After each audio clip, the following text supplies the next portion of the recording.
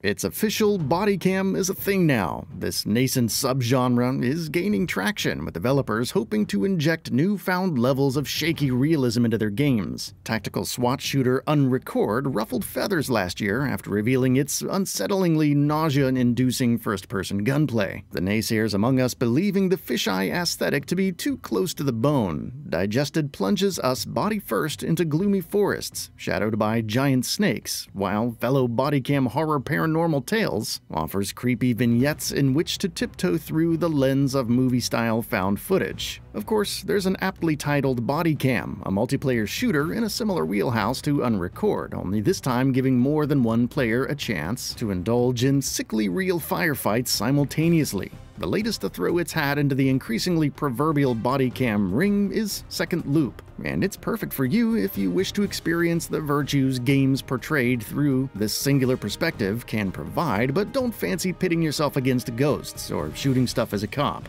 Good news, as Second Loop has neither. Instead, you'll be entering a rain-soaked dystopian world, scaling industrial megastructures, destroying mechs, and partaking in some contraption construction.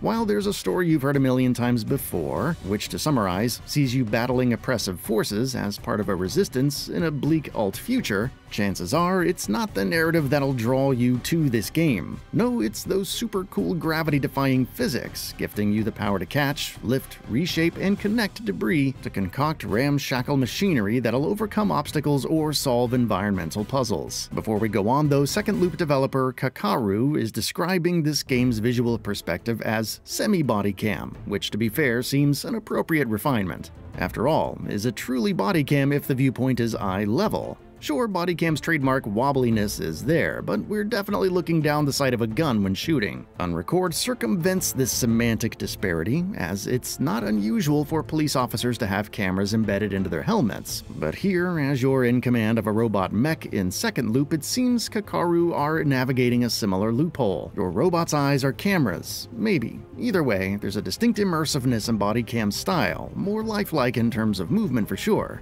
And that's at least replicated here in service of the gameplay, not to its detriment. Back to the telekinetic construction, Kakaru's blurb goes on to say, if you can dream it, build it with the developer outlining eccentric sports cars with tank treads to aircrafts as a couple of possibilities. A GIF on the game's Steam page demonstrates the outcome if you affix four office fans to a suitcase, at least it looks like a suitcase, to fashion a hoverboard of sorts. The contraption whirs airward uncontrollably. Now, including an unorthodox vessel such as a fan-powered hoverboard flailing wayward on the Steam page instead of, say, a highly controllable floating construct upon which we can traverse unjumpable gaps, sail across waves, or race down freeways points to there being a degree of experimentation required to construct the perfect machine. On the one hand, this is a positive, as it supports Kakaru's pledge that success in Second Loop will require non-linear thinking, but on the other, it's arguable the extent of this sandbox's experience replete with emergent gameplay might be limited.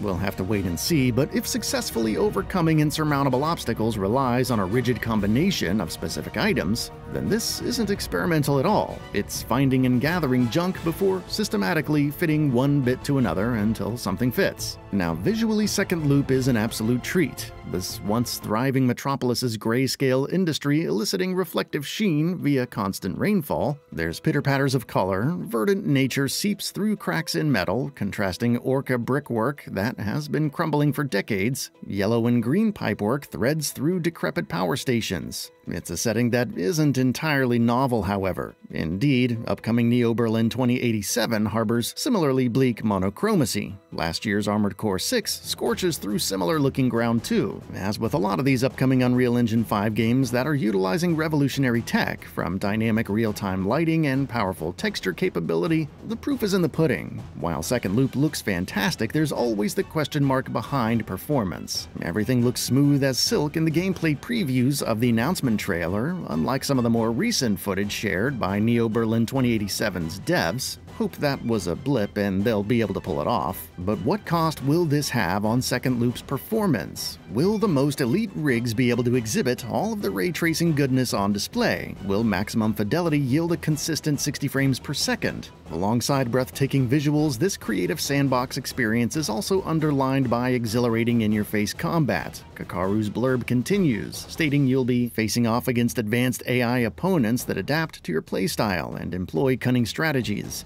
We're seeing a conventional arsenal of pistols and machine guns working in tandem with some sort of hack and slash laser sword, and the action looks every bit as exciting as Kakaru are promising. We'll be able to pilot the game's towering mechs too, and while there are no glimpses of such combat in the game's announcement trailer, we are treated to a GIF on the game's Steam page which showcases the inside of a mech's cockpit. Mech on mech brawling is promised, with searing lasers and bone crunching grapples and throws on offer, according to Kakaru. If it plays out in a way that's as cool and gratifying looking as the game's on-foot FPS action, then there's a chance this element of the game's combat will be very memorable indeed. One thing the bodycam aesthetic is likely to provide is a weight to the mechs, something which the extremely similar in-scope Hawken achieved some 12 years ago. Let's hope that Second Loop's enemies pose more of a threat than Hawken's single-player rebirth though. One thing this body cam trend is in danger of feeling like is something of a gimmick, a curio that'll have its day in the sun, then set over the horizon, never to be seen again. It's already getting pigeonholed into FPS or horror titles, and to be fair, with good reason, given the immersive qualities such a camera perspective holds. But Second Loop looks to be genuinely attempting something novel with the approach. Bodycam's inherent unsteadiness is sometimes its undoing, its uncanniness inducing nausea rather than immersiveness, but Second Loop looks to have nailed a happy medium, whereby the camera shake is toned down but the tactile feeling is still present. Second Loop is developer Kakaru's debut outing, with the outfit also working as the game's publisher. For a first attempt, Second Loop looks extremely promising. There's always the danger of a title like this biting off more than it can chew, but let's hope for a minute that Kakaru can pull this off. There's no official word on release date or platforms just yet. PC is expected given the game's Steam listing, but Second Loop